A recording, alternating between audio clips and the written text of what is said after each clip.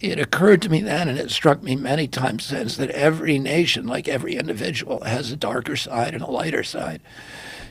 And the easiest thing for a politician to do is to appeal to our hatred and our bigotry and our fear, you know, and our xenophobia and, you know, our mistrust of immigrants or whatever.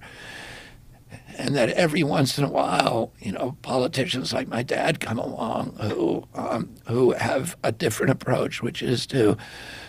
uh, get people, persuade people one way or another to transcend their narrow self-interest and see themselves as part of a community, as part of a, a larger adventure, you know, and, and be willing to take risks for neighbors who don't look like them because they feel like they're part of something important, you know, part of maybe reconstructing our country and making it live up to its promises. And, and, and to avoid the seduction of the notion that we can advance ourselves as a people by leaving our poor brothers and sisters behind. And my dad was able to do that successfully. And I think, you know, that we have that opportunity now. And, you know, I, you know, that's why I,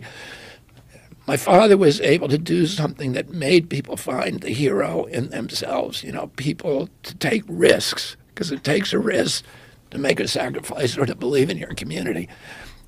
And my dad was able to do that. And, you know, I would I would like to be able to do that to this country for this country, and I think it's,